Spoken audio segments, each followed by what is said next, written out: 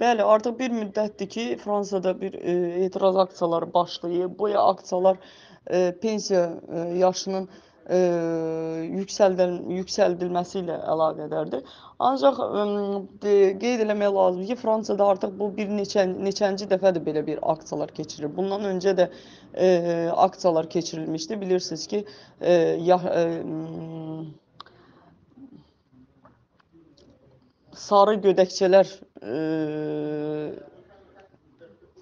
ortaya çıxmışdı və bunların da sosial problemlərin üzərinə böyük bir uzun müddətli bir aksiya keçirildi. Bu da aksiyalardan biri kimi hesab olunur. Lakin bu aksiyanın e, belə deyək, insanları daha çox e, küçəyə çıxarılması 68 Fransada keçirilən e, sosial aksiyalara e, bənz bənzədirlər ki, bunlar da 1968-ci ildəki aksiyalara bənzədirlər. Demək lazımdır ki, Fransadakı bu gedən bu son belə deyək e, hadisələr nəyə gətirir çıxardır? E, demək lazımdır ki, e, Makronun ümumiyyətcə tək daxili deyil, xarici siyasətində də göstərdiyi belə deyək e, qeyri-peşəkarlıq bugünkü gündə Fransanın həm iqtisadi, həm e, iqtisadi baxımında, sosial baxımında, həm də xarici siyasətdə, ümumiyyətcə siyasi baxımdan da böyük bir e, problemlərə gətirib çıxardı. Çünki Makron özü e, zaten e, yəni demək lazımdır ki, e, Makronun özü artıq uzun müddətli nüfuzu e, tək e, e daxildə deyil, həm də xaricdə də sıfıra enib. Çünki bu son hadisələrin də e, gətirib çıxardığı odur ki, bugünkü gündə e, artıq Fransa xalqı, belə deyək, Makronun nə qədər qeyri-peşəkar bir e, prezident olduğunu e, daha çox dilə gətirir və e, artıq o qadının, yəni onu zibil e, belə deyək, qutusu ilə zibillə e, müqayisə edərək onun e, saxlanılması və bu ixtişaşlara da daha çox e, belə deyək, qızışdırılması bunu göstərir ki, artıq millət e, Makron kimi bir liderdən bezib və millət Makron kimi lideri qəbul eləmir.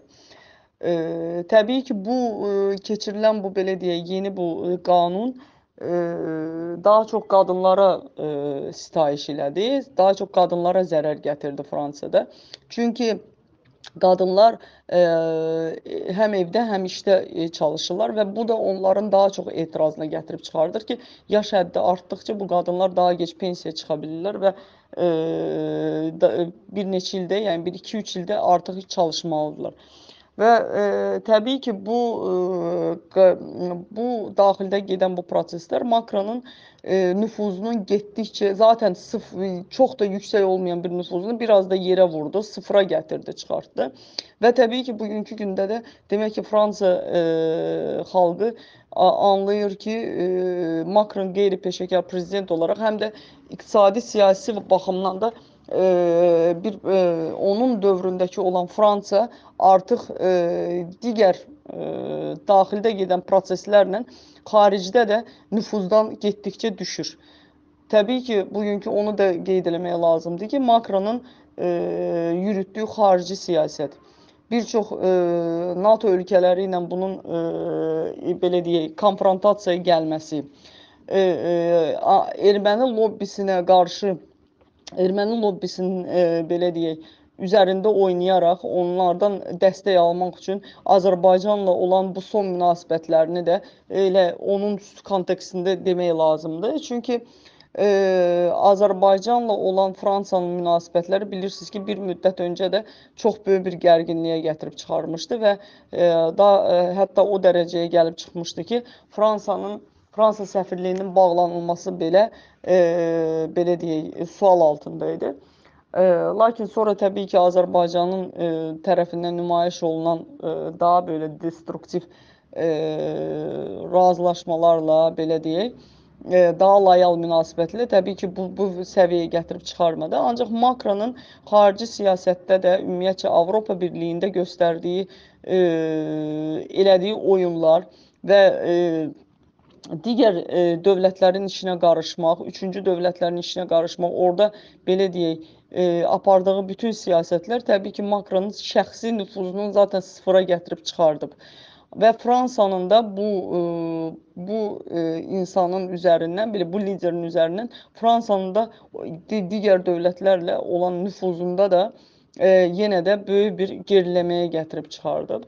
Və bugünkü gündə görürsük ki, Azərbaycan belə Fransa ilə necə gərgin bir münasibətlər yaşayır. Çünki Fransa prezidenti yenə dediyim kimi erməni lobbisini oynayaraq e, Ermənistana, yəni düşün Ermənistana dəstək verir və hətta bugünkü gündə Qarabağda onların o belə deyək, polis adı ilə gələn ancaq əli silahlı dəst e, ordunun belə deyək, bu gün ora gəlsin gəlməsində də Avropa Birliyi tərəfindən yəni gəlməsindən də bugünkü gündə Fransanın böyük bir rolu olub və Ermənistana verən dəstəyə olan rolu olub.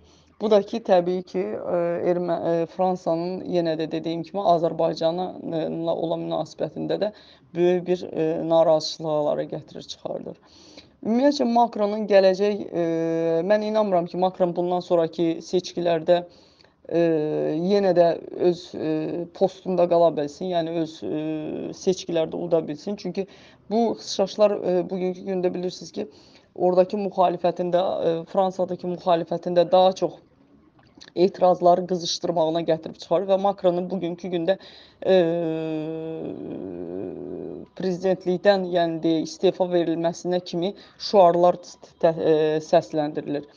Təbii ki, bugünkü gündə Makron e, istefa vermək niyyətində deyil, ancaq gələcək seçkilər üçün, yəni Makron böyük bir nüfuz kaybındadır ki, yəni nüfuzunun e, sıfıra enməsi kaybındadır ki, itirilməsindədir ki, e, Makron bundan sonra seçilmə məsələsi yəqin ki, böyük bir sual altında ola bilər. Çünki Fransa xalqı artıq belə bir liderin, belə başsız və yöndəmsiz bir lideri yəqin ki, bir də hakimiyyətə gətir, e, gətirməmək üçün hər şey etməlidir və edəcəkdir.